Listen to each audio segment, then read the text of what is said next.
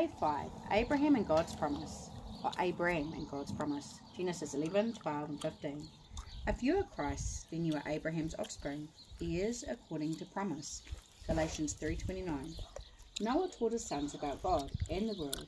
His sons had sons and grandsons of their own. One of these grandsons of grandsons was named Abram.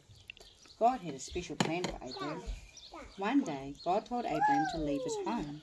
God promised that Abram would have a family that would become a great nation. I will bless you and make your name great so that you will be a blessing. In you, all the families of the earth shall be blessed. Genesis 12, 2 to 3. But what is a blessing?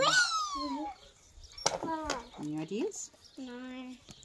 A blessing is a gift of goodness from God, a part of His plan to bring us closer to Him. God promised to bless Abram, and then through Abram, all the families on the earth would have that goodness too. That was a big, important promise. Abram tried to believe God's promise. He took his wife and all his possessions and went where God told him to go.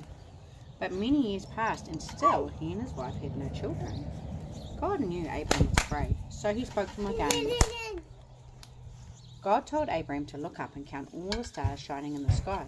He told Abraham that his family would be as many as the numbers of stars in the sky. Yeah. And Abraham stopped being afraid and believed God again. Have you ever had to wait a long time for something? Yep. What? Yes. My birthday. I knew you were going to say that. My birthday.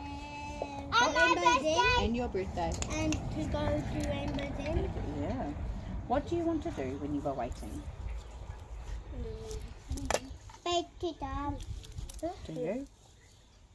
You want to try and make it Okay, go so faster, it's all eh? about getting presents. okay. Yeah, all done. Done.